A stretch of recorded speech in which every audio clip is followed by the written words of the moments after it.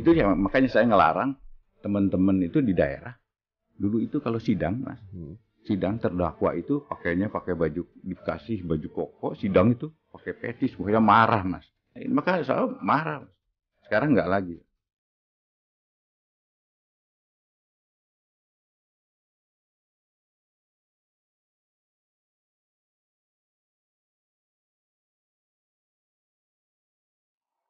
Pemirsa kita kemudian hadirkan juga informasi masuk ke tema utama kita pada malam hari ini. Mungkin kalau tadi Andromeda sudah sempat bilang, mungkin pemirsa juga sempat melihat pada saat persidangan, mungkin beberapa kali ada terdakwa yang sebelumnya tidak mengenakan hijab atau kemudian tidak nampak e, mengenakan pakaian-pakaian yang agamis pada saat digelar persidangan kemudian berubah total Mendadak secara alim. pakaian. Jadi mendadak alim. alim. Nah, ini yang kemudian menuai e, kontra, e, pro dan juga kontra dari pernyataan seorang jaksa agung yang juga sempat mengenakan dilarang mengenakan atribut agama pada saat persidangan. Cukup sopan saja. Cuplikannya ada itu di YouTube-nya Deddy Corbuzier. Coba kita simak bersama ketika Jaksa Agung ST Burhanuddin.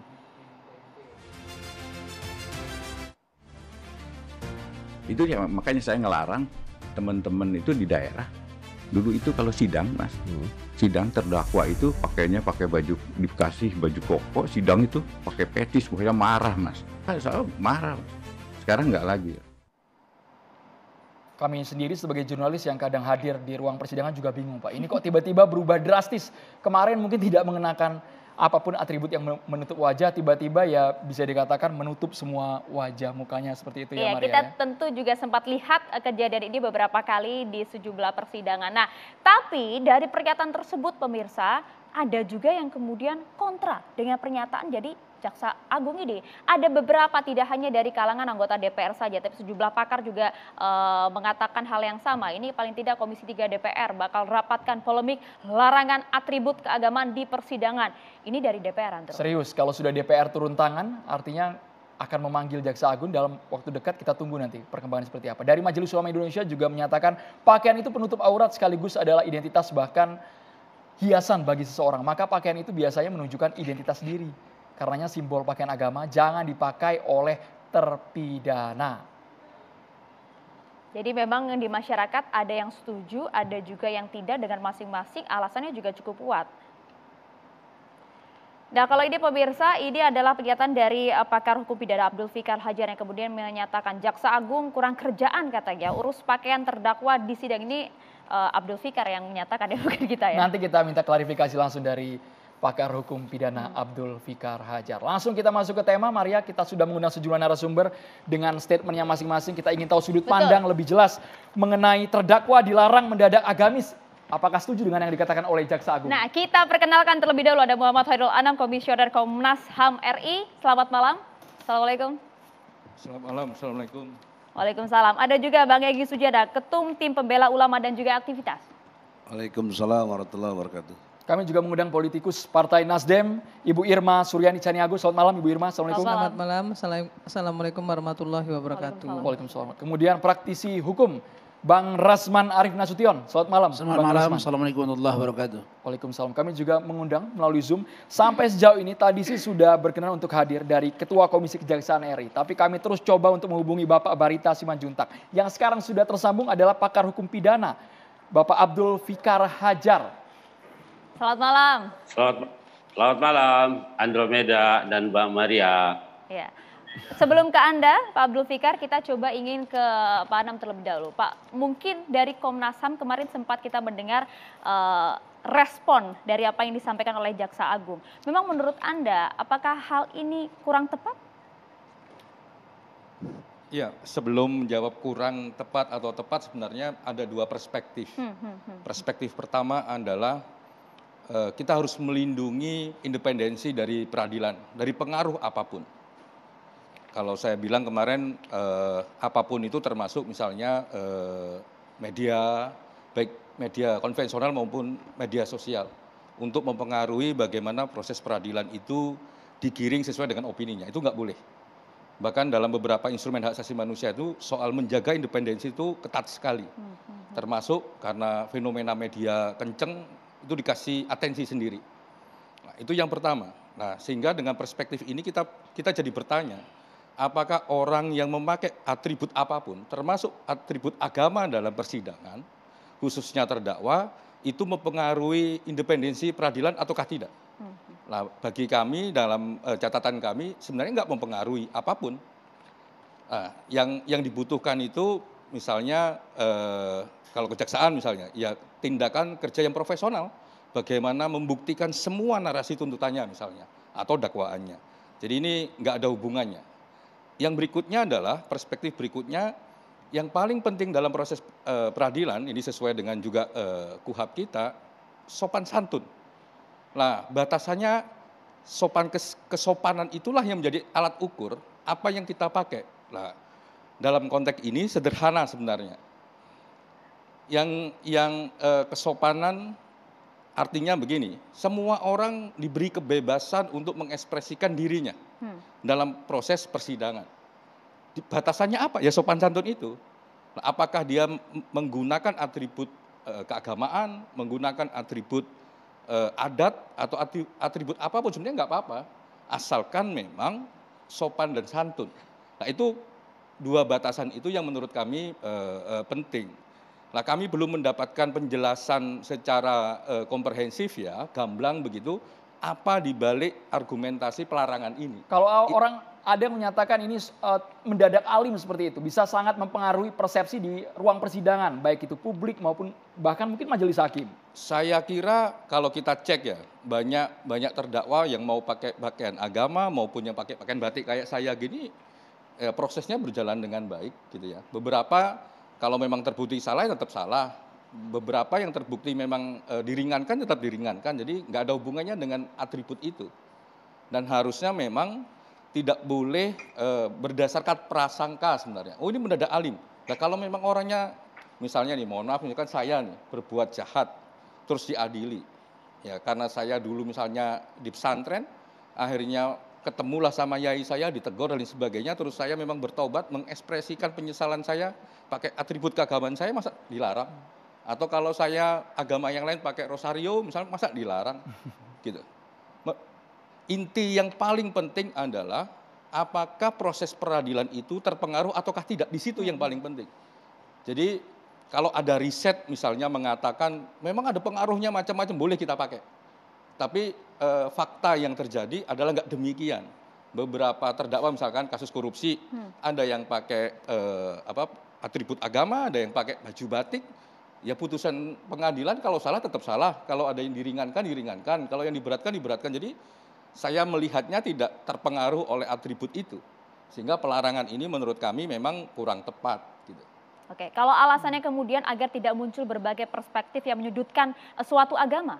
Saya kira itu problem sosial kita, yaitu itu kita selesaikan di ruang yang lain. Ya mungkin perlu perlu pendidikan, mungkin perlu memang narasi bahwa ini nggak ada hubungannya, mungkin perlu banyak hal. Tapi dalam konteks ini uh, penegakan hukum, dalam konteks uh, lembaga peradilan, yang paling penting adalah independensi. Hmm. Dia tidak boleh terpengaruh oleh apa pun. Nah, pertanyaannya sederhana. Pernah nggak hakim ditanya?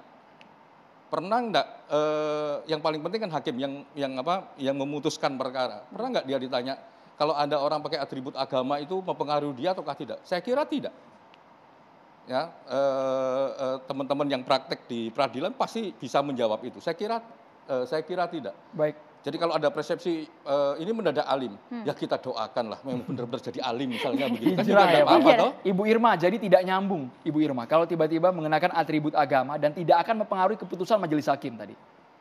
Iya, saya sih sepakat ya dengan misalnya kalau tidak tidak akan mempengaruhi persidangan, ya tapi mempengaruhi opini publik saya setuju.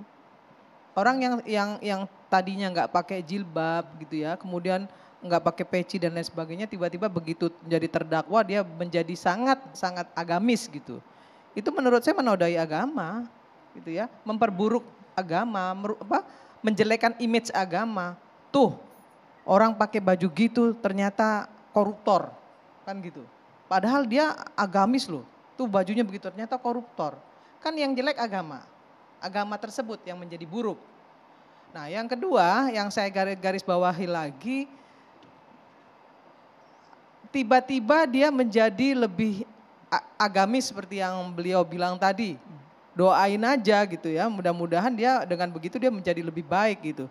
Nah kalau perubahannya ketika dia mendapat mendapat hanya ketika dia mendapat kecelakaan begitu, baru kemudian dia merubah sikap karena di persidangan menurut saya kalau kalau kemudian masyarakat menilainya ini pelecehan terhadap agama, saya setuju. Hmm.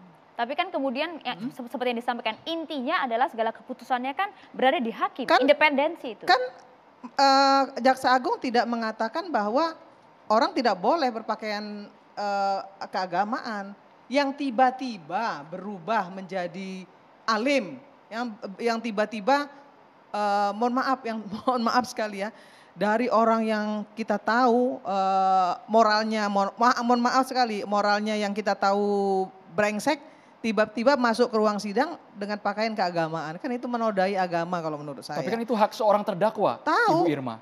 Tahu saya itu hak seorang terdakwa. Tapi kan juga jaksa agung tidak tidak melarang orang-orang yang misalnya dia memang tadinya memang ber, berpakaian agamis kan nggak nggak apa-apa juga. Kan jaksa agung hanya mengatakan bahwa yang tiba-tiba menjadi alim itu bisa saja kemudian merubah persepsi publik. Hari ini kan kita sama-sama tahu lah ya, dikit-dikit fobia, apa Islamofobia, dikit-dikit tidak bela Islam. Kan begitu yang terjadi. Tidak bela memusuhi Islam, orang Islam memusuhi Islam, kan itu yang terjadi. Maka kemudian Jaksa Agung mungkin ingin meminimais ya, ingin meminimais persepsi itu sehingga tidak memperburuk agama. Agama apa pun, bukan cuma Islam, hmm. agama apa pun seperti yang beliau bilang tadi yang memakai rosario, memakai apa. Saya kira itu penting untuk kita berikan diskursus kepada masyarakat juga. Karena masyarakat kita sekarang ini itu terpecah belah yang uh, tentang agama ini luar biasa gitu. Ya, tapi kan larangannya kemudian hmm. sudah kemudian didistribusikan ke berbagai kejaksaan di daerah. Ya, Artinya apa ada pelarangan Apa ini. urusannya kalau itu kalau yang dimaksud oleh beliau itu adalah yang tadinya tidak pakai uh, uh, atribut keagamaan tiba-tiba. Kan nggak ada salahnya juga. Tapi kalau yang paling berpengaruh kan menurut tetap tidak ada seperti yang beliau bilang tadi tetap tidak ada juga apa potensi untuk merubah keputusan dari ya. hakim.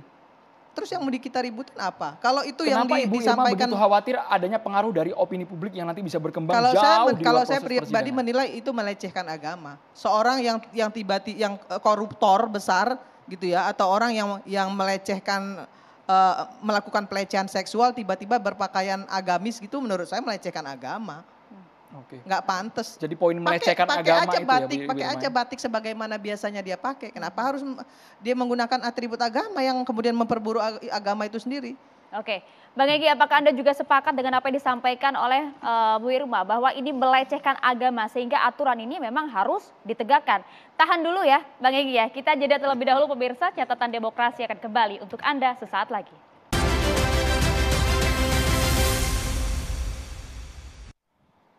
Ya kita lanjutkan pemirsa Om Egi. Bagaimana? Apakah Anda juga cukup sepakat karena ini dianggap melecehkan agama Islam atau kemudian agama-agama tertentu lainnya? Ya sudut pandangnya harus dilihat dulu. Hmm. Karena ilmu itu harus pendekatannya objektif. Kemudian diuraikan secara sistematis dan toleransi terhadap nilai-nilai kebenaran serta dibangun dengan sikap yang jujur, benar, dan adil. Nah, itu teori saya, os jubedil, insya Allah. Dalam perspektif itulah, tadi saya katakan kepada Bung Andromeda bisa setuju, bisa tidak. Kalau dalam pandangan Bu Irma, itu clear.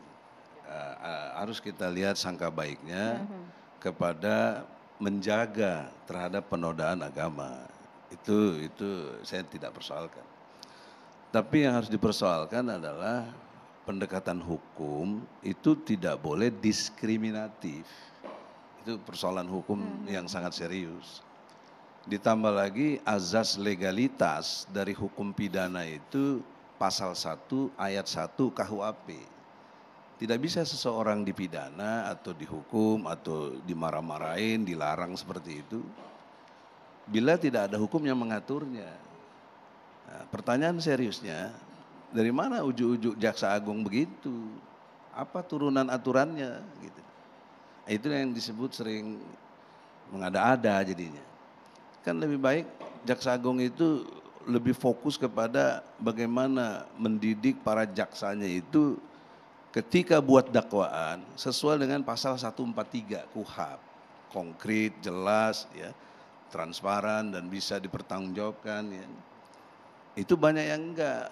Nah, ketika kita adakan eksepsi pasti ditolak juga sama hakim. Itu harusnya ada pendidikan serius untuk itu menurut saya. Karena hal-hal yang begini kalau boleh dibilang tidak penting tidak penting apa urusan begini gitu. Sebentar bang, ini butuh penegasan. Artinya Ya. atribut keagamaan dalam proses persidangan itu tidak urgent sama sekali. Tidak urgent untuk apa itu? Tapi kata Nggak- Ibu Irma tadi melecehkan agama, itu bang kan Eji. satu persepsi. Kita sangka baik dia Hmm, begitu. Kalau saya enggak karena saya juga belain apa eh, Bapak Jenderal Napoleon Bonaparte itu lawannya si Muhammad Kece namanya Muhammad tapi agamanya bukan Islam. Disumpahnya waktu sidang bukan Islam. Terus pakai peci. Itu kan juga lebih menghina lagi. Tapi kok boleh jaksa kan tuh tahanan jaksa. Makanya solusinya kalau mau kita diskusi yang elegan, Jaksa Agung buat aja aturan seperti KPK, ada ada baju seragam tahanan, eh, pakai pakaian kuning gitu loh. Nah ini pakaian tahanan jaksa, kan itu satu solusi juga. Kenapa harus didiskriminatifkan demikian? Kalau seperti Pak apa Nu- Hairul Anam mengatakan tobat, nah, saya juga tidak sependapat ya dalam perspektif tobat tiba-tiba itu istilahnya. Nah yang perlu dilihat Mbak Aya sama Andromeda, Mas Andromeda itu adalah kenapa orang itu berubah. Nah saya melihat di beberapa video itu ada yang paksa berubah, dipakein peci gitu loh. Dipakein baju koko. Yang maksa siapa? Kuasa hukumnya, JPU atau siapa? Ya kita lihatlah kalau kita lebut oknum nanti tidak bagus gitu. Hmm, Tapi Anda lihat dalam video-video itu ada.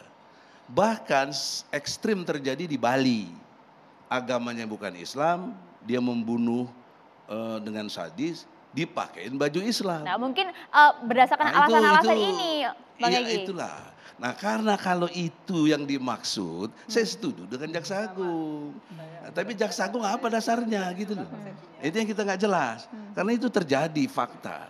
Jadi kita objektif tuh di situ. Eh, tidak berpihak tetapi lihat objeknya sendiri yang menurut saya harus sesuai dengan nilai-nilai kebenaran. Nah oleh karena itu eh, ke depannya itu kecerdasan itu perlu sekali untuk kita kedepankan di dalam konteks penegakan hukum. Ditambah kesadaran dan pendekatan jujur benar adil tadi. Nah yang kedua lebih baik ya kalau boleh bicara usulan dan konteks yang benar eh, kebetulan di forum yang berbahagia ini Jaksa Agung insya Allah mendengar lebih baik dia pikirin bagaimana tuh tangkap si Harun Masiku. Itu nggak ketangkap-tangkap sampai sekarang. Bagaimana koordinasi dengan KPK sinergi ya. Kemudian korupsi yang COVID-19 itu eh, Kementerian Sosial itu sampai 3 triliun. Kenapa itu eh, presidennya nggak diperiksa? Kan kamu mungkin korupsi sendirian. Tapi artinya sebenarnya menurut Anda itu yang Jaksa lebih Agung penting daripada kemudian ngurusin peci ini. Aduh saya kira tidak signifikan. Ini ada satu skenario yang harus kita cermati. Ada Islam fobianya itu yang ingin diciptakan. Gitu loh mbak. Antum bagus bela begitu. Eh anti kalau perempuan. Itu tapi di balik desain ini saya mengerti politik dalam konteks ini ada Islam fobia yang di, ingin dikondisionalkan begitu loh. Itu itu catatan penting. Kalau menurut saya jangan catatan demokrasi, catatan kebenaran gitu. Ya. Jadi, jadi dalam perspektif ini tidak bermaksud saya mau membongkar apa pun, tapi mari kita objektif betul dalam perspektif mengelola negara ini. Jangan amatiran, jangan nggak jelas, jangan nggak punya aturan yang acak kadut kayak begini. Baik, Bang Rasman, apakah Anda melihat tidak akan ada bias hakim ketika atribut keagamaan dibawa ke ruang persidangan? Begini, dari perspektif pikiran saya sebagai seorang lawyer dan sudah sering beracara di pengadilan, secara jujur saya jawab Pak Khairul dengan Bang Egi. Bang Egi kan senior saya, tapi boleh dong berbeda pendapat ya. Hmm.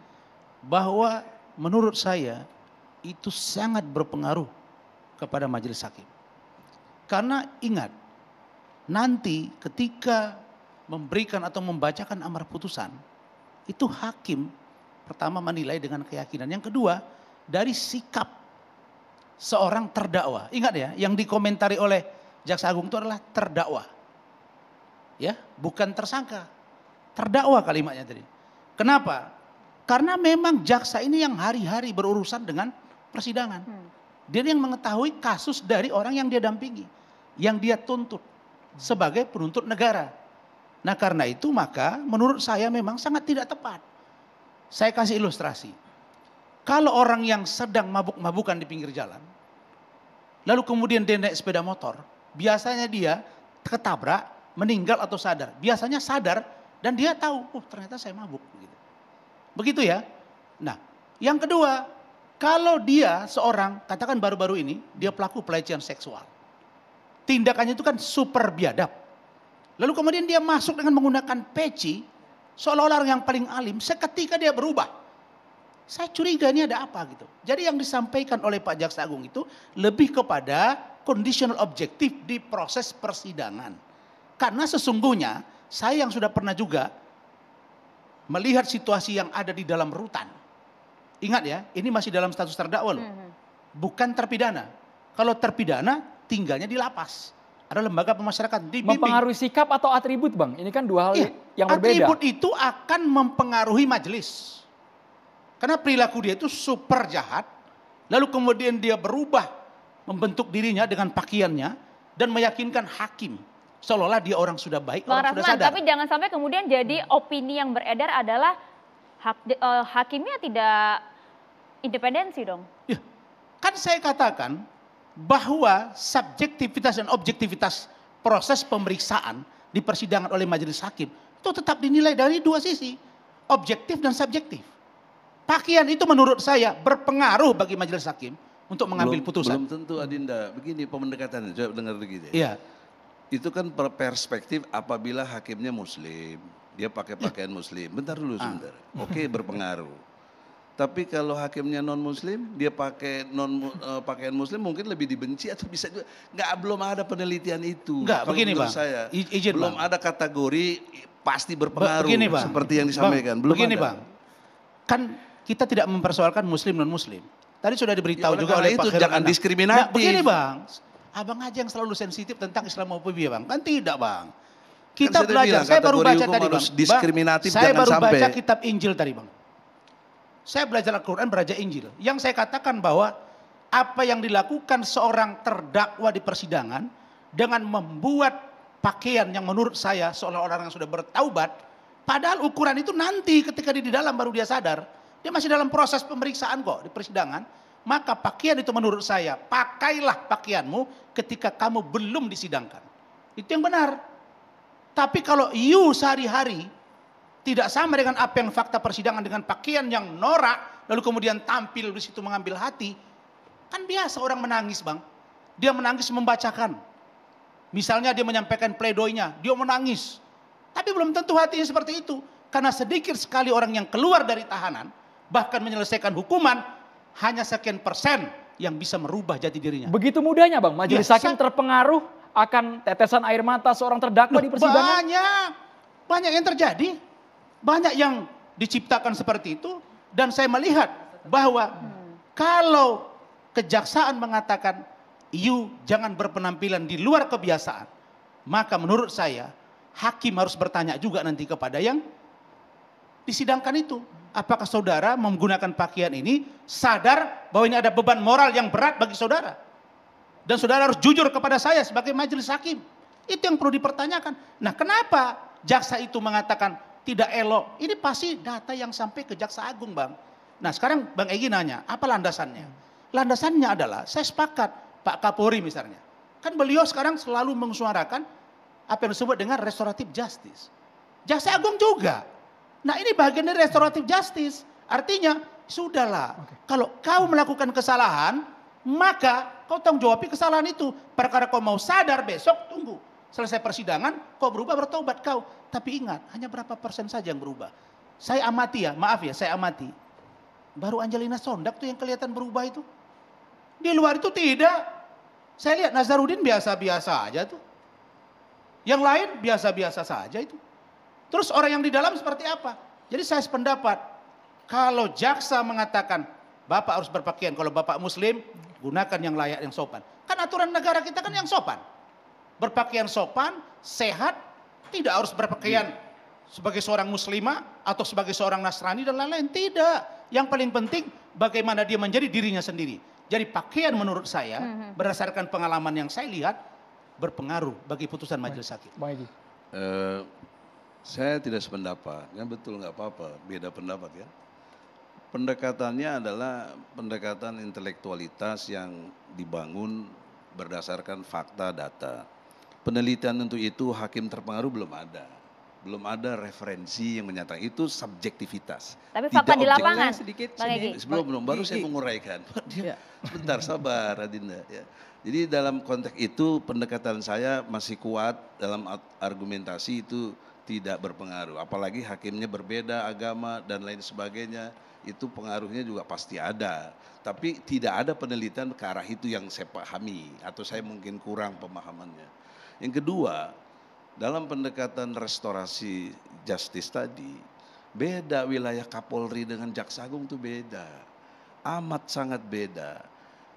Tugas jaksa, tugas polisi, tugas hakim, kita advokat, penegak hukum beda-beda. Konteksnya polisi itu di tingkat penyelidikan dan penyidikan. Itu pantas restorasi dalam pengertian eh, lebih kepada pendekatan IT. Itu yang saya ingat pahami Nggak, betul. sorry, sorry. Nah, kemudian Bang. kalau jaksa sudah pada tingkat P21, sudah Bang, masuk ke pengadilan. Bang Egy saya koreksi nih karena Gitu. beliau senior saya. Bang, Ya, itu Jaksa Agung juga sering melakukan restoratif justice, Bang. Iya. Contoh, Bang, baru-baru ini Tapi di, ini di kan Aceh, Bang. Saya nangani kasus. Yang Bang, kita bicarakan sedang dalam pengadilan. Begini bang, Sudah jadi terdakwa. Kan abang tadi bilang, Kan sudah jadi terdakwa. Bang, abang tadi bilang kan Eh. kalau polisi wilayah hukumnya beda. Iyalah. Justru jaksa agung bang sudah merestoratif justice juga. Misalnya ancaman hukuman tindak pidana ringan. Kan mereka menangani juga, melidik juga bang persoalan korupsi. Kalau itu hanya waktu dikembalikan, disuruh dikembalikan bang. Nah maksud saya jangan abang langsung memilah bahwa pikirannya Pak Kapolri dengan Pak Jaksa Agung berbeda. Dua-dua penegak hukum termasuk kita. Gini bang, bagaimana kalau abang seorang sebagai lawyer profesional bahkan abang saya, senior saya, ada satu klien abang yang dia penjahat luar biasa. Sholat pun tidak tahu-tahu datang pakai peci, pakai lobe, pakai pakaian koko, seorang dia orang paling alim. Itu tentang Islam bang. Justru kalau hakimnya bukan Islam, dalam pikiran saya, dia akan berpikir, oh, ini orang Islam kok seperti ini. Atau sebaliknya, ini Muslim hakimnya, yang terdakwa itu adalah seorang yang bukan Islam. Dia juga berpikir, apa begini ajaran agamamu?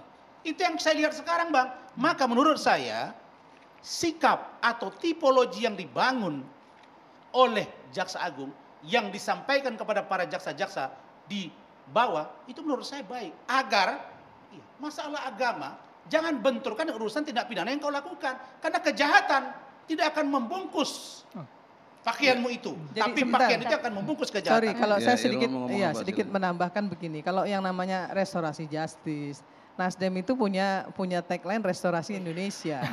ya. Restorasi Indonesia itu dari dari dari hitam menjadi putih, dari gelap menjadi terang, dari ko, dari korupsi tidak menjadi korupsi. Jadi siapa pun boleh, siapa pun boleh melakukan restorasi. Ya, kalau itu itu yang saya mau sampaikan sama sama Egi. Nah, yang kedua, saya walaupun bukan lawyer tapi saya ingin coba saya ingin bertanya. Kayaknya ada ada ada deh di dalam putusan itu dia berlaku sopan, dia berpakaian sopan, dia berlaku sopan sehingga meringankan. Hmm. Ada loh. Saya sering baca Sudah itu. sering kasus yang kita temui Iya, seperti itu. Karena dia berlaku sopan, dia berpakaian sopan dan berlaku sopan sehingga ada pengurangan hukuman. Itu ada. Jangan juga kita nafikan Hmm. itu. Kalau saya lebih kepada sebenarnya kalau E- Egi kan sama Adinda Adia Asman kan bicaranya da- dari sisi hukum. Hmm. Karena saya bukan hukum, orang hukum, saya mengatakan lebih kepada image ya. Memperburuk memperburuk image agama agama apa pun. Sudah tahu perampok, pelecehan seksual, pemerkosa. Tahu-tahu datang dengan atribut keagamaan. Kan masyarakat kita hari ini kan kita tahu. Jadi sedang harusnya pakai atribut apa itu? yang Ibu Irma? sesuai dengan yang dia mereka Sopan-sopan pakai. saja. Iya, sopan-sopan Oke. saja. Kan begitu. Jadi sebenarnya pernyataan Jaksa Agung ini jangan pula kemudian dipolitisasi menjadi sepertinya ini suatu kesalahan besar saya kira. Enggak di sini ada kontrario berpikir. Hmm, hmm, hmm. Ketika merumuskan pakaian sopan yang biasa-biasa saja. Ketika orang pakai peci, pakai koko karena tiba-tiba jadi nggak sopan. Kan kontrario itu nggak itulah cara berpikir jadi diskriminatif jadi Bukan ngaco, saya tidak mengatakan bahwa Ya, orang itu, itu, ka- memakai memakai jangan peci, pakai memakai apa segala macam itu tidak diskriminatifnya sopan. itu yang penting, Keliru ente, kategoriku. ente keliru bos. yang yang Jadi keliru yang saya siapa? bilang, dia yang bilang keliru kan kan begini te- kalau pertimbangan hakim katanya karena pakaian sopan apa yang sopan itu yang biasa-biasa saja nah kalau yang katanya Ya, tadi sesuai dengan pendekatan apa dia yang- apa jadi yang biasa dia mendadak pakai. agamis menjadi mendadak berubah pakai peci, pakai uh, kopiah, pakai jilbab, berarti itu dipakai nggak sopan dong. bukan. Karena harus dibuka. Nah ini dia Anam kelirunya. ingin komentar. Kita tahan Bisa dulu ya. Bisa enggak? sedikit? Politisasi Bisa saya seperti ini bukan yang selalu politisasi apa? mengelirukan Ini logika. image Coba, ya, menggiring logika yang dibangun. Bu publik. Ima, Bang Ini Edi kan- kita tahan dulu. Orang terdakwa Ini kan kita mau iklan ada, dulu bang. ada Kita efek tahan dulu ya Bang ya. Kita Kita iklan dulu, lanjutkan nanti usai jeda kita juga ingin gali eh, persoalan hukum ini bersama dengan Abdul Fikar Hajar usai jeda sesaat lagi.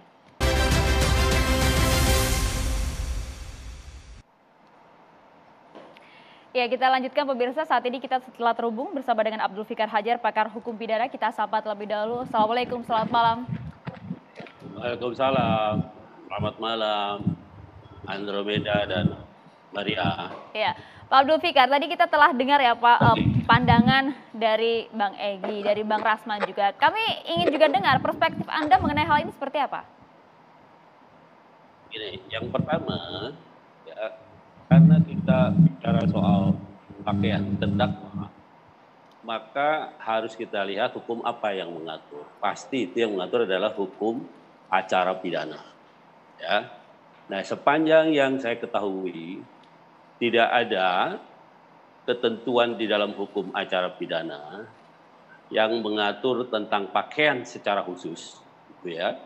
Yang mengatur tentang pakaian secara khusus, apalagi pakaian keagamaan atau tidak keagamaan, pakaian adat atau pakaian bukan adat dan sebagainya. Tidak ada aturan di dalam hukum acara yang mengatur itu. Nah, karena itu ya, ketika ada pihak yang mengatur eh, mengenai pakaian terdakwa di persidangan, maka harus kita lihat konteks kewenangannya gitu. Nah, karena itu saya berpendapat jaksa itu sebenarnya tidak punya kewenangan. Dia mengatur-ngatur pakaian terdakwa ya.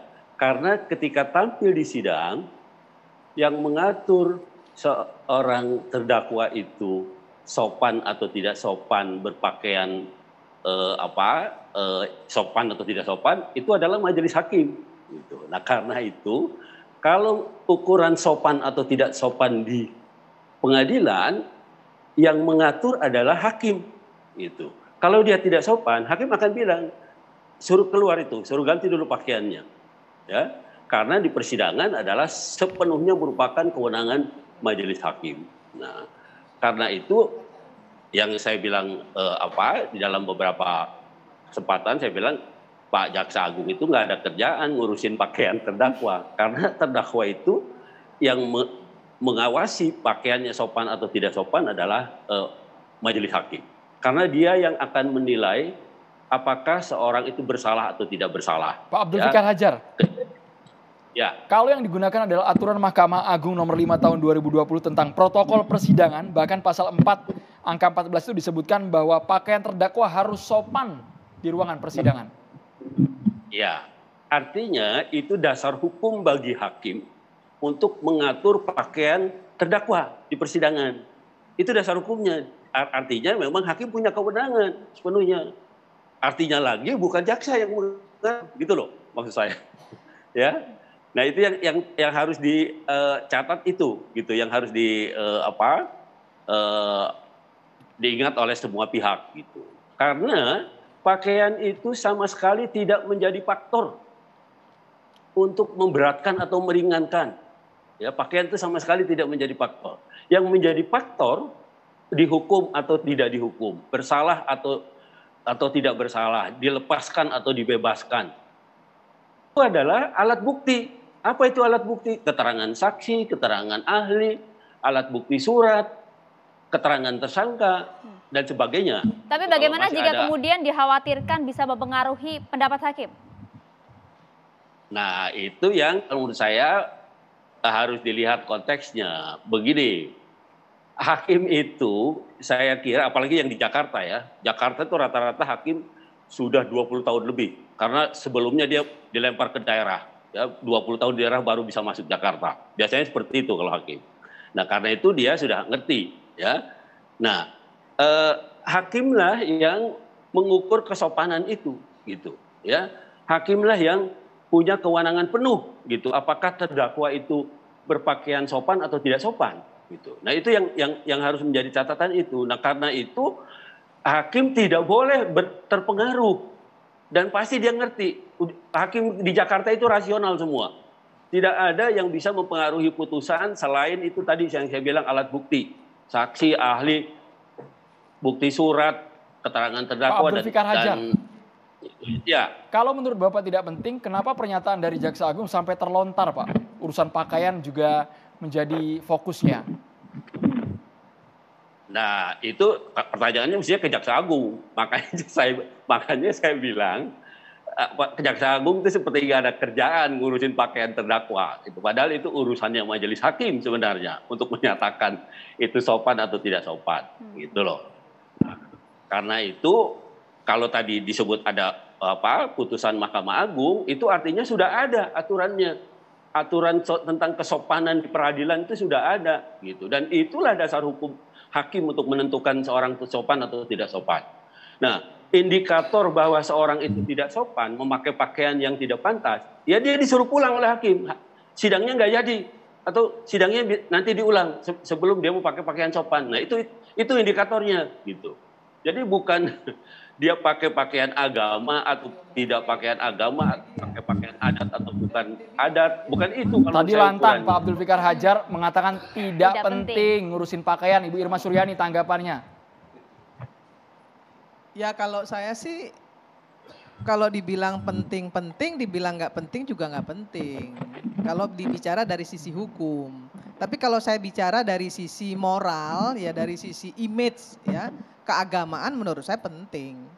Ya kalau yang dibilang yang disampaikan beliau tadi semuanya udah Egi sampaikan tadi di depan. Bahkan lebih lebih lebih konkret lagi apa yang disampaikan Egi daripada beliau kalau menurut saya. Jadi apa dia mereka beliau hanya mengulangi sedikit. Egi mengupas seluruhnya tadi. Halo ya Gi, uh, top kan? Udah aja. Tapi urusan moral hmm. sosial hmm. ini seberapa besar dampaknya? Penting kemudian untuk dipertimbangkan gini, hingga gini. ke meja persidangan. Begini, saya kan tadi udah bilang, saya ini bukan ahli hukum. Hmm. Tapi saya sering menda, me, me, membaca putusan bahwa ya, saya nggak tahu nanti Egi juga uh, apa bisa bisa nyampaikan apa namanya argumentasinya. Ada ada putusan yang mengatakan misalnya dia berpakaian sopan, berperilaku sopan sehingga ada pengurangan hukuman. Saya konteksnya di situ aja kalau yang lebih yang yang lain-lain saya nggak nggak nggak terlalu peduli lah ya. Tapi dengan tiba-tiba uh, tiba-tiba seolah-olah uh, menjadi menjadi tobat gitu ya menurut saya itu yang harus harus menjadi perhatian apa namanya publik juga. Karena publik juga punya image gitu ya. Akhirnya nanti mohon maaf sekali. Dalam situasi hari ini ada kadron ada kampret ada segala macam itu kalau kita sidang pakai pakaian muslim kemudian dijatuhkan hukuman berat. Ada juga loh di WA yang yang selalu menyebut tuh kalau kalau Islam pasti diberat-beratin tuh hukumannya. Udah tuh pasti gitu-gitu loh. Yang gini-gini juga memang harus tokoh tokoh-tokoh di seluruh Indonesia hmm. ini memberikan diskursus yang yang bagus juga kepada publik gitu sehingga tidak kemudian uh, antar agama itu di seperti diadu-adu hmm. gitu kalau menurut saya. Nah makanya image itulah yang memang harus diminimize. Saya sih nggak bilang itu boleh atau tidak boleh. Kita minimize saja lah. Jangan nah, benturkan okay, antara agama yang, satu yang sama lain. pernah pakai pakaian hmm. muslim, yang yang tadinya korupsi ini, gitu ya, berubah tiba-tibanya itu. Gitu. Tiba-tiba berpakaian muslim, tiba-tiba kemudian dihukum berat, pasti kan ada komentar di. di Pak Anam, okay. boleh komentarnya? Pak Anam sebentar, ini fokus ini berubah tiba-tiba itu kan tadi saya bilang ada yang mengkondisikan oknum-oknum. Nah, itu yang harus dipersoalkan. Okay. Kalau okay. dia berubah sendiri karena tobat ya nggak apa-apa dong.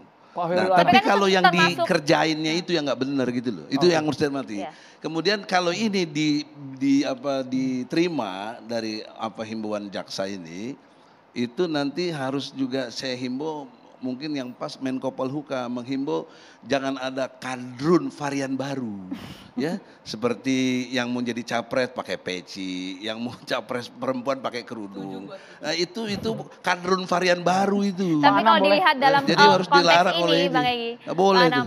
kan Ya. entah itu ada dorongan atau tidak, eh, kemudian keinginan diri pribadi untuk mengenakan sesuatu kan hak asasi manusia. Iya, eh, intinya sebenarnya dalam konteks hak asasi manusia, termasuk juga di KUHAP kita, itu memang melindungi bagaimana eh, mekanisme peradilan itu tidak terpengaruh oleh apa pun.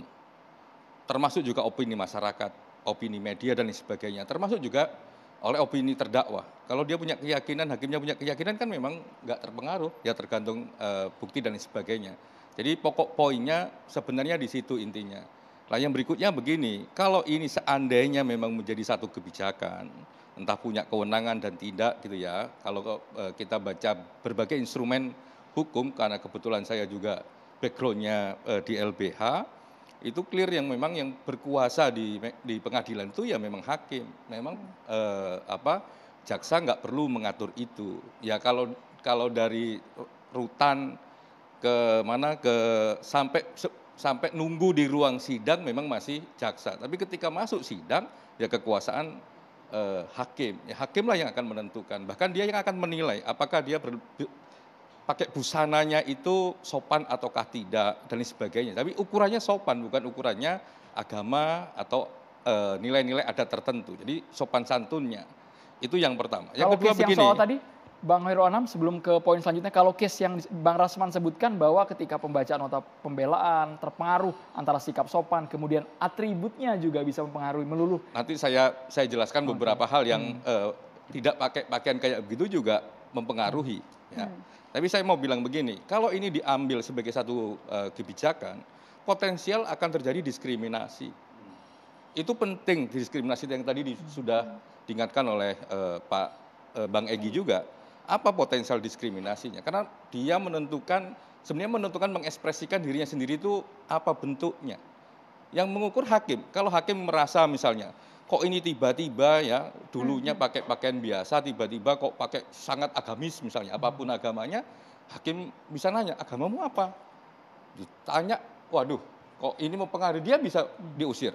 Eh, Mas, Dia Mas bisa Anam diganti. begini, dengan adanya kasus seperti ini maka kemudian Pak Jaksa Agung ya mengeluarkan eh, apa namanya himbauan ini menurut saya ba- ba- baik juga. Dengan demikian Nggak, nggak. eh, Eh, hakim ke, ke depan ini ke depan Nggak, hakim nggak. akan Itu- itu me- di- me- itu- me- apa, mengutip apa yang sampean sampaikan juga. Itu, Itu- menjadi satu masukan yang bagus menurut saya. Itu ruangnya kejaksaan sampai ruang tunggunya pengadilan. Masuk ke pengadilan sebenarnya ruangnya ada ruang hakim. Bahkan begini misalnya di beberapa konteks ini, mohon maaf ya, ada yang tiba-tiba pakai eh, apa eh, Cadar. cadar misalnya. Ketika ditanya identitasnya mana, cadarnya bisa dicopot. Enggak ini agama saya melarang apa buka cadar enggak. Saya kan ingin lihat kamu ini siapa. Betul nggak sesuai dengan KTP KTP itu boleh. Karena memang kekuasaan hakim. Nah kita nggak usah ngomong kasus yang gede-gede. Ini ada kasus eh, apa kejahatan jalanan. Kejahatan jalanan itu hampir semua yang diadili di kejahatan jalanan itu kalau nggak pakaian putih, hitam, pakai peci. Hampir semuanya kayak begitu.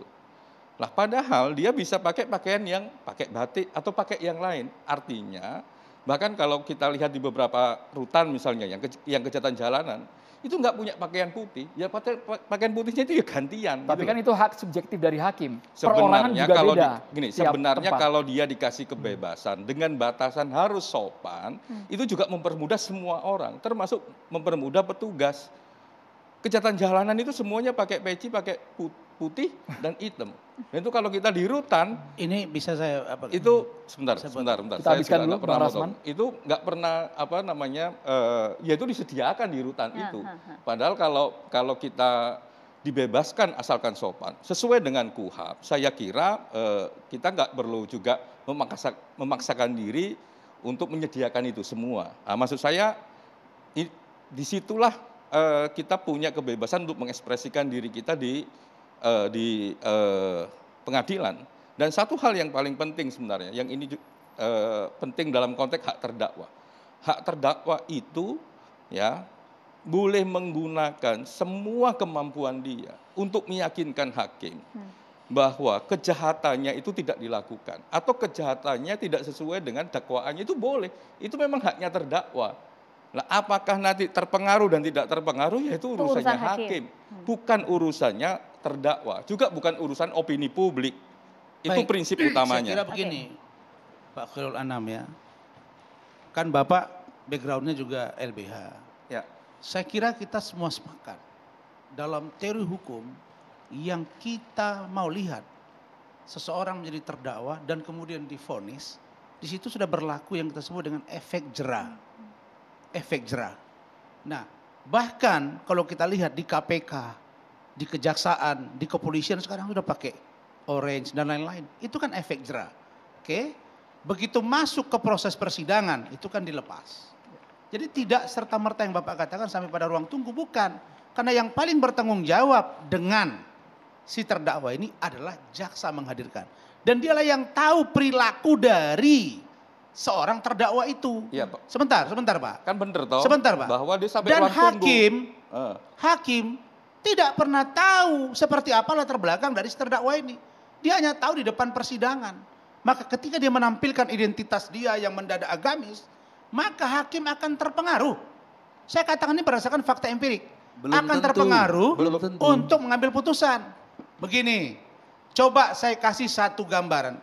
Besok, kan katanya tadi ukuran kita itu standarnya itu adalah pakaian sopan. Ya. Oke, apakah yang disebut dengan sopan? Kan nasionalis religius Indonesia, anak SMA, pakaiannya pakai rok panjang apa lain-lain atau berhijab dan lain-lain.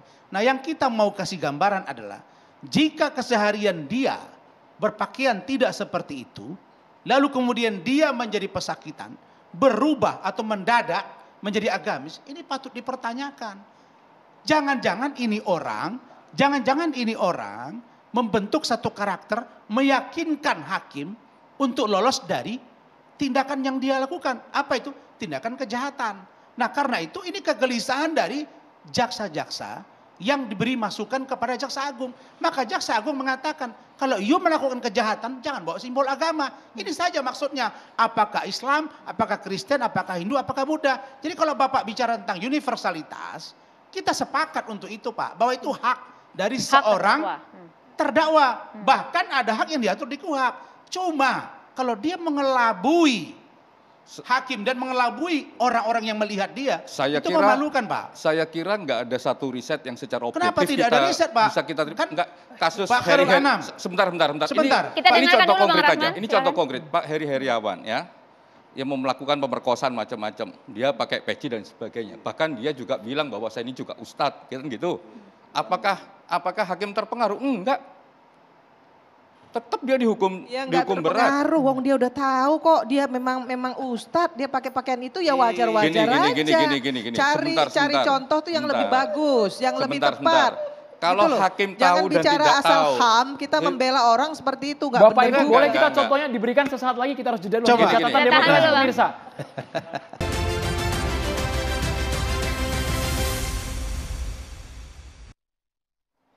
Ya pemirsa kita hadirkan terlebih dahulu informasi ini yang sempat ramai juga kemarin Andro dan juga para narasumber. Ada rombongan anggota Hilafatul Muslimin yang berkonvoy pemirsa membawa atribut hilafah menjadi sorotan. Bahkan pihak kepolisian pun juga turun tangan. Ya, ini adalah video amatir yang kemudian memperlihatkan ada tulisan bahkan di eh, kendaraan para anggota yang berkonvoy ini. Kita baca ada sambut kebangkitan khilafah Islamiyah bahkan juga turut membagikan berbagai selebaran begitu ya Tuh. kepada masyarakat sekitar. Mereka dianggap mengkampanyekan tegaknya sistem khilafah sebagai solusi umat yang dilakukan oleh kelompok Khilafatul Muslimin. Bahkan dari Badan Nasional Penanggulangan Terorisme juga sudah berkomentar dan telah menggolongkan Khilafatul Muslimin sebagai kelompok radikal sama halnya dengan Hizbut Tahrir Indonesia. Ini pernyataan dari Direktur Pencegahan BNPT Brigjen R. Ahmad Nur Wahid yang menjelaskan pernyataan itu berdasarkan kampanye kelompok Khilafatul Muslimin yang menyuarakan kebangkitan sistem khilafah. Sangat disayangkan video ini bahkan viral terlebih dahulu di media sosial Maria ya. Iya dan sudah ada eh, kemudian pihak kepolisian juga turun tangan di sana ya. Kita lanjutkan kembali pemirsa. Pak Anam tadi ingin berkomentar silakan. Iya, eh, jadi semua pembicaraan kita itu intinya sebenarnya memang melindungi untuk eh, peradilan yang independen. Nah, ya harus sesuai dengan kewenangannya. Saya kira kewenangannya adalah di kewenangan di hakim, bukan di kejaksaan. Jadi memang aturannya Mahkamah Agung. Jadi kalau kejaksaan ngatur terdakwa yang duduk di meja terdakwa diperiksa oleh eh, hakim, diatur oleh jaksa, menurut saya itu juga, juga tidak punya kewenangan. Sekali lagi kalau ini diterapkan, potensial terjadi eh, diskriminasi. Nah, saya kira ini nggak nggak patut lah untuk dilanjutkan sebagai satu kebijakan yang diambil oleh kejaksaan. Bahwa ada problem serius di masyarakat soal persepsi dan sebagainya yaitu PR kita bersama gitu ya. Itu PR kita bersama. E, artinya yang ingin kami tegaskan yang paling paling penting adalah ayo kita menjaga independensi dari e, majelis hakim. Kalau memang ada misalnya oh ini nanti terdakwanya mempengaruhi dan sebagainya dan sebagainya. Ada nggak keluh kesah dari hakim kalau ada keluh kesah dari hakim saya yakin akan keluar uh, perma, ya, uh, aturan dari uh, Mahkamah Agung. Sampai detik ini tidak ada, karena itu memang otoritasnya Mahkamah Agung. Hmm. Dan kita sudah pas sebagai satu aturan hukum yang mensyaratkan berperilaku sopan santun. Misalnya kebiasaannya misalnya, ini mohon maaf misalnya yang kalau di masyarakat tidak sopan misalnya, terus di maju ke pengadilan, masa dia pakai pakaian seperti biasanya nggak sopan misalnya, yang nggak sama majelis hakim pasti harus dipakai pakaian yang uh, sopan. Kalau nggak sopan ya diusir. Misalnya kayak begitu. Jadi uh, otoritasnya di sana dan tidak mengikuti opini publik mana pun. Tidak semudah itu otoritas hakim diganggu gugat, digoyahkan. Sampai detik ini saya masih percaya uh, majelis hakim kita memiliki otoritas untuk itu. Ada contohnya saya, mungkin Bang Saya Rahman? kaget juga ini kalau Pak Khairul Anam ini bicara teoritis terus gitu loh. Kan saya sudah cerita, kan LBH juga. Masa sih nggak bisa lihat fakta di lapangan? Ini kan fakta empirik yang saya ceritakan ini. Ini data bos. Kalau begitu saya minta tolong. Bapak sebagai komisioner Komnas HAM bisa melakukan investigasi atau melakukan riset. Yang saya katakan begini, bukankah kita tahu salah satu yang akan membuat seseorang untuk tidak melakukan perbuatan berulang adalah mengambil efek jerah. Maka ketika orang keluar dari KPK dikasih rompi orange. Sebentar Pak. Nah itu maksudnya apa? supaya mempertontonkan kepada publik, eh ini pelaku, dugaan ya, presumption of innocence, ini tersangka, oke? Okay? Lalu kemudian dibawa, diserahkan ke jaksa, pindah jaksa bawa ke peradilan, maka jaksa juga lihat, oh ini orang, kan dia lihat, oh ini orang yang disangkakan ini, nanti yang akan didakwakan seperti ini. Nah kan dia melihat nih perilaku ini. Ini menurut saya gambaran situasi lapangan yang sampai ke Jaksa Agung. Dan Jaksa Agung bicara tentang kewenangannya. Kewenangan dia itu apa? Untuk supaya pelaku-pelaku kejahatan ini jangan menjual simbol agama untuk kepentingan diri dia dan itu akan memukul. Katakan yang seiman dengan dia, karena azas kita kepantasan dan kepatutan. Jak Jadi bentar Pak, sebentar Pak. Lalu kemudian, kalau misalnya, ini saya kaget juga nih Bang Egi, Muhammad Kece. Namanya Muhammad Kece Ternyata dia bukan muslim bang. Sementara dia berkopiah begitu. Orang akan identikan itu dengan muslim. Nah justru itu penghinaan. Nah menurut saya orang-orang seperti ini bukan malah diringan, diperberat. Karena dia merusak citra agama yang lain yang selalu dikonotasikan hmm. dengan kopiah. Panam. Ini ini ini pertimbangannya sampai loh. Sampai situ dulu Bang Rasman sampai situ begini, sederhana saja. Kalau kita kepingin uh, mengajarkan kepada publik bahwa kejahatan itu adalah kejahatan ya. Boleh uh, jaksa agung uh, menggunakan rompi bahwa seseorang itu terdakwa apa pun pakaiannya. Hmm. mau pakai pakaian agama apa pun agamanya pakai adat juga gak apa-apa. Tapi sampai rutan keluar sebelum masuk duduk di pemeriksaan. Hmm. kan itu aturannya. Ketika di pemeriksaan di pemeriksaan hakim ya kekuasaan hakim jaksa nggak bisa atur. Gitu loh itu kalau ini tujuannya untuk masukan untuk hakim? kita tidak mengatakan itu satu. bahwa sebentar, jaksa sebentar, agung sebentar. ingin mengatur-ngatur di luar kewenangan dia bukan. Dia hanya menyampaikan bahwa kalau you melakukan proses pelanggaran hukum dan kamu adalah dalam tangan jaksa penuntut umum, maka idealnya Anda itu jangan melakukan perbuatan yang mendadak agamis. Apakah muslim atau tidak muslim itu saja, tapi berlaku sopan. Apa itu santun biasa-biasa saja. Contoh, saya melihat dengan COVID ini banyak orang yang selamat dari wajah. Padahal efek jerah jelas untuk itu. Contoh dia pakai masker atau pakai tutup muka dan lain-lain. Kita susah mengenalinya. Nah saya tanya Bapak, yang mau dicari dari seorang pelaku kejahatan adalah apa? Efek jerah kan? Saya- Efek jerah itu termasuk proses persidangan, pemeriksaan, sampai dia difonis. Saya kira memang perkembangan zaman kita rekam jejak digital apa pun mau dia sekarang pakai tutup dan sebagainya bisa dilacak.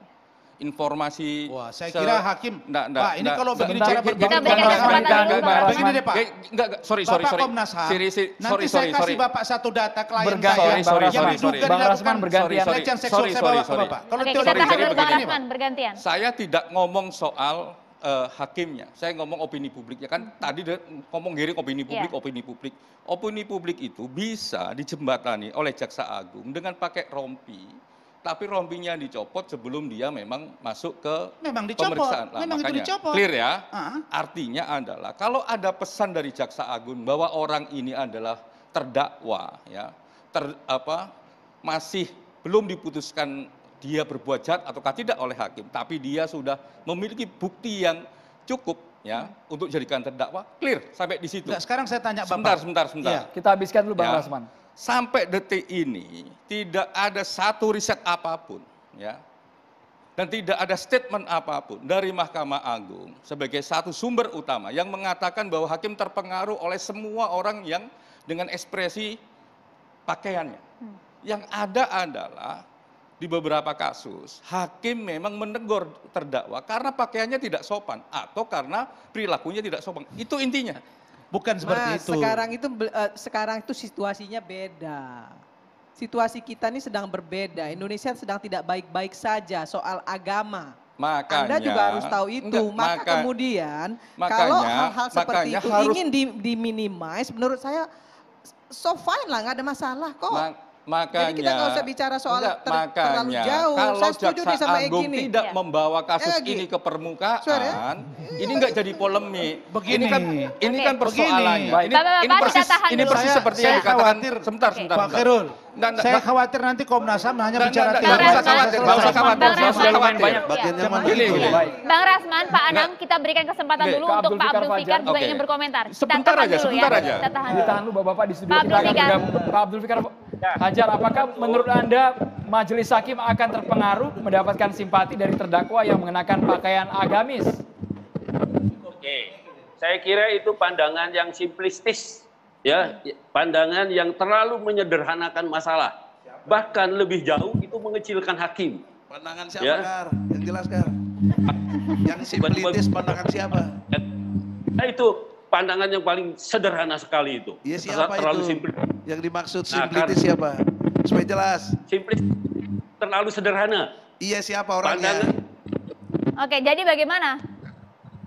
Ya, jadi pandang seperti pandangan yang menyatakan bahwa hakim akan terpengaruh oleh pakaiannya terdakwa. Oh itu pandangannya itu adalah Rasman, gitu dong jelas.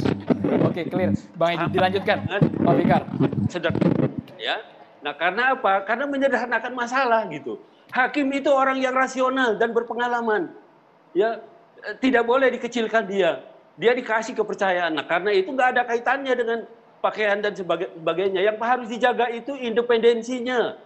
Yang harus dijaga itu kenetralannya. Itu yang harus dijaga. Gitu. Nah, karena itu kalau apa pandangan-pandangan seperti itu kalau menurut saya justru eh, me- mengacaukan masalah gitu. Ya, Eh, eh, pakaian kau dipersoalkan. Sepanjang dia tidak sopan ya tinggal disuruh pulang balik lagi pakai pakaian yang sopan. Kan seperti itu. Ya kan? Bukan soal dia pakaian beragama atau tidak beragama, pakaian adat atau tidak adat. Mhm. Karena itu yang harus dijaga adalah bagaimana tidak me, apa namanya mengecilkan atau merendahkan ya merendahkan pengadilan itu yang harus dijaga gitu. Nah karena itu kita juga harus percaya kepada hakim ya bahwa pa- pakaian seorang terdakwa itu tidak mungkin akan mempengaruhi pikirannya. Yang akan mempengaruhinya adalah alat bukti, keterangan saksi, keterangan ahli, Oke. keterangan terdakwa. Mengatur Atau- apa yang dikenakan pun juga tidak eh, begitu penting untuk diatur untuk saat ini. Iya, kalau menurut saya tidak tidak eh, eh, tidak perlu diatur. Karena itu tadi saya bilang kewenangan sepenuhnya seperti Anam bilang tadi, independensi hakim itu akan Baik, mengatur Pak itu Abdul karena Fikar. itu kewenangan. Poinnya sudah kami terima. Bang Bang. Oke. Ya, alhamdulillah Abdul Fikar Mani teman mahasiswa dulu sama. Sohib, Sohib. Itu alhamdulillah sebagai ahli relatif sama dengan pandangan kita. Nah, saya ingin coba menengahi ya. Saya sayang sama Dinda Rasman, ini Muhammad juga kan, teman juga aktivis. Perspektifnya begini, apa yang disebut Rasman itu sifatnya kasuistis. Tidak bisa membangun populasi dalam konteks contoh. Dunia ilmiah itu populasi itu harus mewakili dari yang sampel yang disampaikan. Tidak bisa kasuistis. Harus berlaku agregat namanya.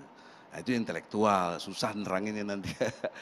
Waktunya nggak cukup. Tapi poin pentingnya gini, kasuistis itu ada gitu. Tapi tidak bisa dijadikan aturan karena itu kasuistis.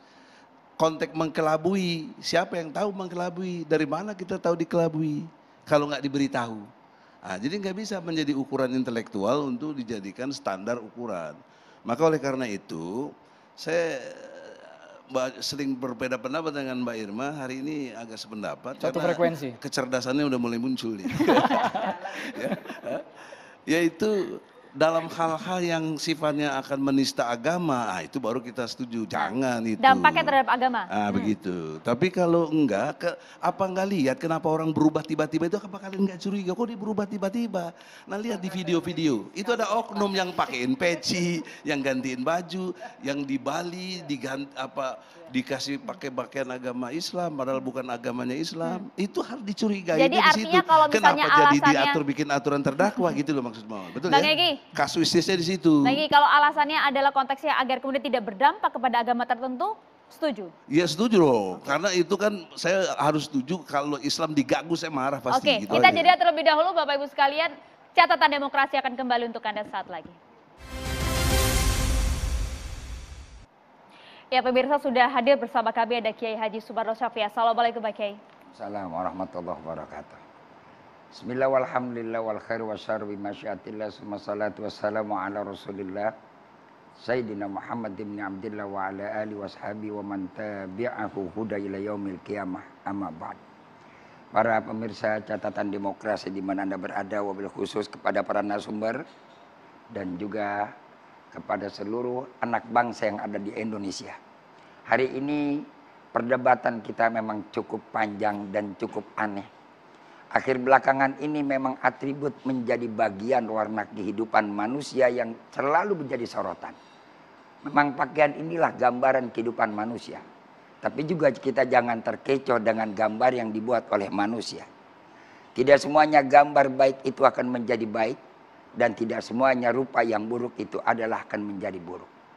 Karena itu dalam hadis baginda Rasul Nabi kita Muhammad sallallahu alaihi wasallam. Inna Allah la yanzuru ila samikum wa la ila suwarikum walaki yanzuru ila kulubikum wa a'malikum. Sungguhnya Allah tidak akan melihat nanti kepada potongan dan model seseorang. Yang Allah lihat nanti adalah hati dan perbuatan kita. Terkadang memang betul tadi apa yang dikatakan oleh Bapak Komisaris kita dari Komnas HAM Insya Allah hakim-hakim yang ada di Indonesia cukup profesional. Tidak akan terpengaruh dengan atribut apa pun. Tapi bagi kita umat yang beragama terus terang. Ketika penjahat bisa berubah dadak-dadakan jadi orang baik ini pun jadi menyinggung kita orang beragama. Bayangkan dari yang namanya mereka sebagai bandar narkoba tiba-tiba duduk di bangku pesakitan percis kayak ustadz. Dan lebih parah lagi mereka yang tidak pernah mengenakan jilbab, nggak pernah pakai baju syari.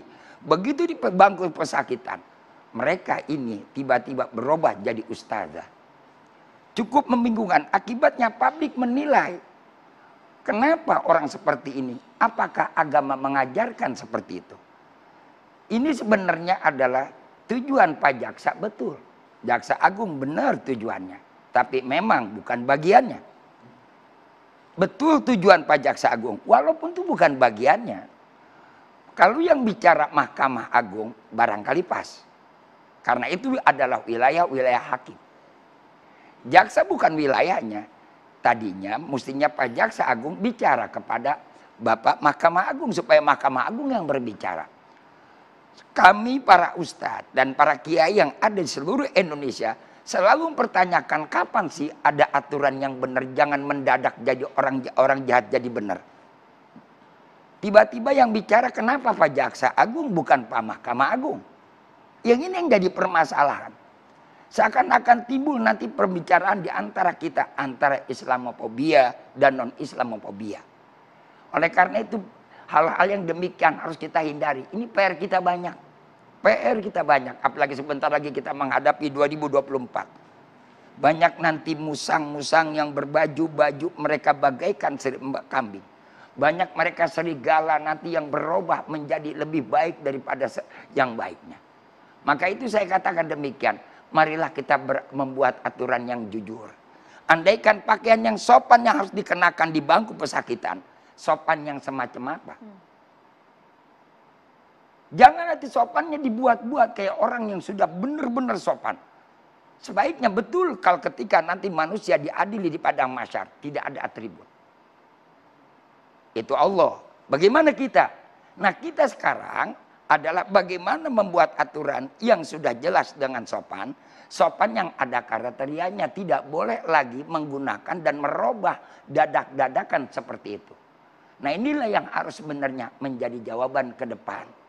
Insya Allah mudah-mudahan anak bangsa kita ke depan lebih cerdas. Dan lebih bisa memahami hal-hal yang semacam ini. PR kita banyak, PR kita cukup berhari-hari belakangan ini cukup besar. Apalagi kita menghadapi melaksanakan ibadah haji. Yang tiba-tiba anggaran haji mendadak berkurang. Lalu kita hadapi bagaimana perubahan hukum global yang semakin hebat.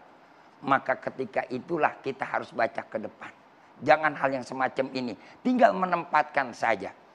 Insya Allah mudah-mudahan ini menjadi nilai yang positif buat kita semua. Dan mudah-mudahan kita mengharapkan Tinggal waktu yang tersisa dari perjalanan apa yang dilakukan oleh pemerintah kita akan menjadi husnul khotimah buat kita semua. Wallahul muwaffiq ila qawmitorik usikum wa nafsi bitaqwallah faqad fazal muttaqun. Assalamualaikum warahmatullahi wabarakatuh. Waalaikumsalam warahmatullahi wabarakatuh. Terima kasih banyak Kiai Sumarno Sawe. Sesungguhnya kami juga menghadirkan ingin mengundang sekali pihak Komisi Kejaksaan, tapi sampai dengan pengunjung acara tidak direspons sama sekali. Terima kasih banyak Pak Khairul Anam, Bang Egi Sujana. Ya tadi juga terima kasih telah bergabung sama kami ada Pak Abdul Fikar Hajar, Bu Irma, Bang Rasman terima kasih banyak. Pemirsa kita akan berjumpa lagi di catatan demokrasi minggu depan. Saya Maria Segaf. Dan saya Andromeda Merkuri. Selamat malam, sampai, sampai jumpa. jumpa.